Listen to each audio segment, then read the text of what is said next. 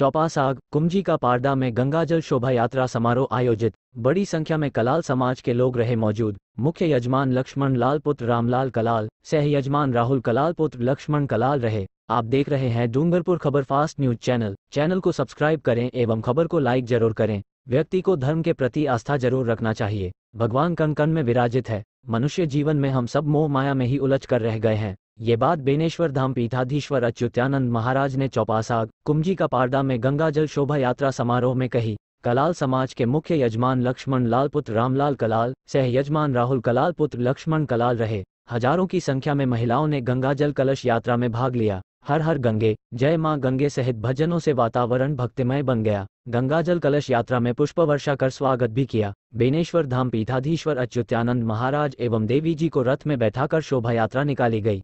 इस दौरान बांसवाड़ा जिला अध्यक्ष सुंदरलाल डडुका मोतीलाल जेठाना, पन्नालाल, ईश्वरलाल, तेजपाल, योगेश कलाल उर्फ़ भरत कलाल, जयंतीलाल, नटवरलाल नटवर लाल नवीन कलाल सहित बड़ी संख्या में समाज जन मौजूद रहे।